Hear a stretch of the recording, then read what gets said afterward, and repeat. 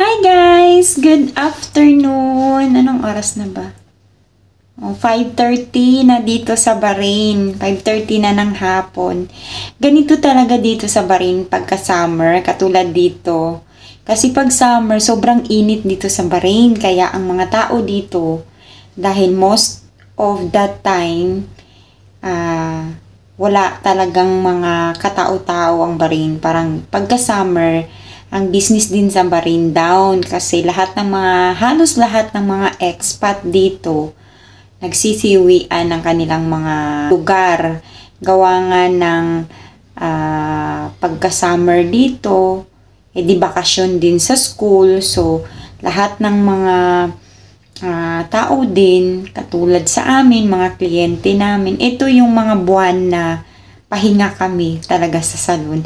July and August, yan yung mga buwan na talagang uh, pahingahan sa mga nagtatrabaho ng salon katulad namin.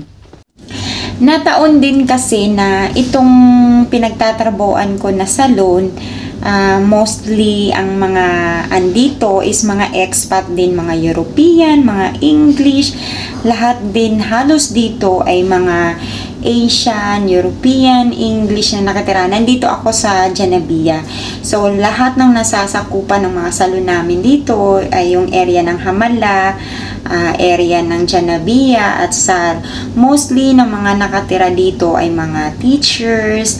Tapos, dito kasi yung mga uh, kung gusto mo talaga ng mga villa or yung gusto mo ng mga malapit sa dagat or mga gusto mo ng may garden na mga bahay, ayan, dito mo matatagpuan yan lahat sa Sarja, Nebia at saka Hamala at saka napaka ano dito, quiet na mga lugar, talagang mga social din ng mga nakatira dito. So, kaya ganito na lang ka kaalawan dito sa lugar namin. Hindi kami yung nagtatrabaho sa salon ng mga naka-encounter ng mga toxic na mga client. Tapos, never kaming nakaranas dito ng mga ang tawag dito, yung mga Ramadan time na talagang hatawan sila sa trabaho.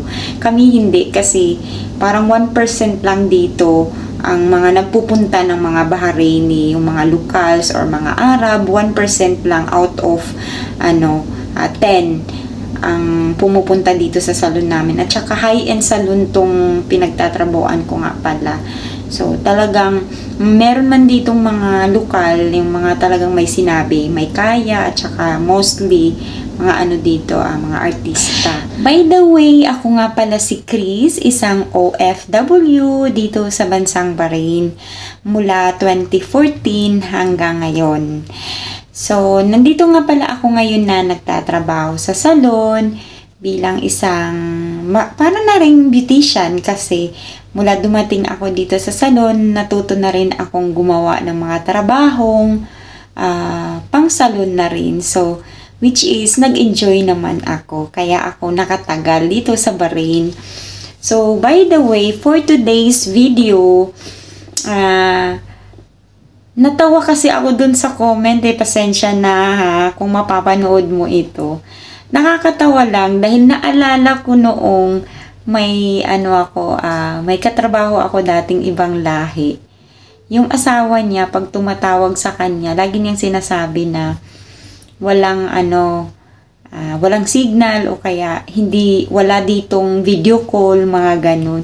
So, bigla akong naalala yung comment ni Kabayan na kung may ano daw ba, bawal daw ba yung mga application dito sa Bahrain o kaya may may restricted ba na mga application na pinagbabawal dito sa Bahrain.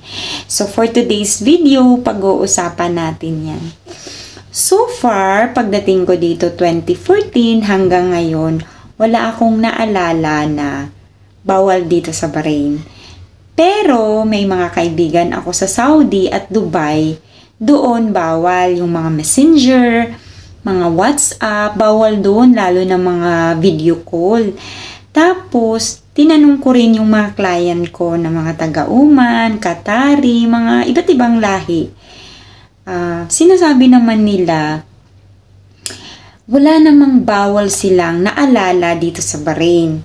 So, in the first on on the first place, uh, and based on my experience, wala nga naman talagang bawal. So, to make it sure na baka nagkamali lang ako or baka, baka wala lang akong alam na mga application na ginagamit ko na ginagamit ng iba na bawal pala. So, so far, lahat naman sila nagsasabi na nga uh, na wala. So, sure na sure ako na walang bawal dito sa Bahrain. Maliban na lang kung manunood ka ng alam mo na yon Hindi ko na itutuloy baka Basta yun na yun. Bawal manood dito kung wala kang connection ng VPN. Pero dito, yung VPN na yan, binabayaran pero risky.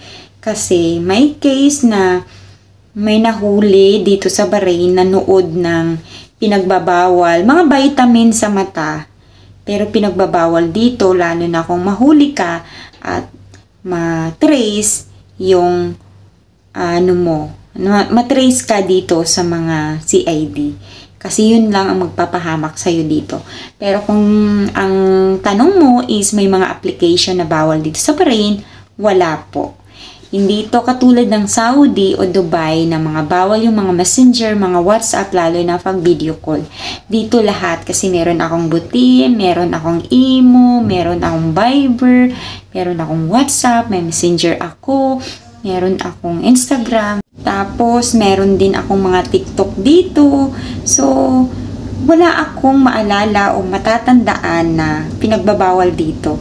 Kahit mga katrabaho ko nga, tinanong ko rin sila kung meron ba silang mga na-experience o meron ba silang uh, na naalala na pinagbabawal dito sa Bahrain ng mga application. Lahat kami ay wala talaga dahil dito sa Bahrain napaka-open talaga lahat dito magagawa mo huwag ka lang pumatay dahil dito yan lang ang hindi ka tanggap-tanggap dito yan lang talaga yung magpapahamak sa'yo pagka ikaw ay nakapatay dito yun lang pero so far pag mamuhay ka dito ng payapa mamuhay ka ng naaayon sa sa pamumuhay mo, ay nako, kaalawan ng buhay dito sa Bahrain talaga. Maalawan siya. Talagang minsan masasabi ko rin talaga na kapalaran ni Juan ay hindi mo kapalaran.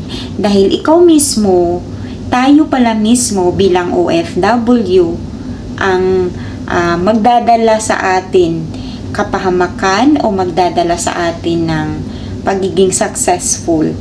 Sa nakakalungkot lang minsan dahil yung mga iba nating mga kababayan, mga nababalitaan natin, di ba? Na, namamatay dahil sa mga boyfriend nila o nasasawi dahil lang sa mga ibang lahi. Hindi rin kasi natin talaga, wala tayo doon sa posisyon nila, di ba? Pero hindi natin alam yung mga dahilanan, kadahilanan, pero kung talagang uh, gusto mong mamuhay bilang isang OFW dito sa Bahrain, talagang masasabi kong perfect ang Bahrain pagdating sa ano uh, pagdating sa safety ay talagang napaka-safe mo dito sa Bahrain. Basta alam mo alam mo sa sarili mo yung mga bawal at hindi bawal. At alam mo yung kahit nga mga may bawal dito pero kung magagawa mo in moderation kumbaga ano ba sasabihin? Hindi moderation kumbaga alam mo sa sarili mong hindi below the belt na yung ginagawa mo na against sa community dito or against sa Bahrain law ay talagang hindi ka mapapahamak talaga kaya sa lahat ng mga gustong mag-abroad at saka sa lahat ng mga gusto at piliin ang papunta dito sa Bahrain, welcome po sa Bahrain. Talagang sina, wini-welcome ko talaga kayo. Kung i-embrace nyo yung trabaho nyo dito sa Bahrain at i-embrace nyo yung pagiging OFW na mamuhay ng may kapayapaan, mai-enjoy mo talaga ang Bahrain. Maliit lang siya, pero safe ka talaga dito sa Bahrain. Siyang gaanong galaan, pero maraming light, nightlife dito kung talagang nightlife ang gusto mo ay marami. At saka kung may vices ka dito sa Bahrain, nako, makukontinue mo, makukontinue mo yan dito pero wag kang pahuhuli dahil kas dahil pag nahuli ka ay kulungan din ang bagsak mo, 'di ba? hindi ka pa makakauwi sa Pinas. Wala rin kapatawaran dito pag mahuli ka sa mga vices mo. Kasi against sa bansa nila. So, ikaw talaga ang pipili ng ano mo, kapalaran mo dito sa abroad. So, ayun lamang po dahil nga mag-uwian na rin kami. So, that's it for today's video.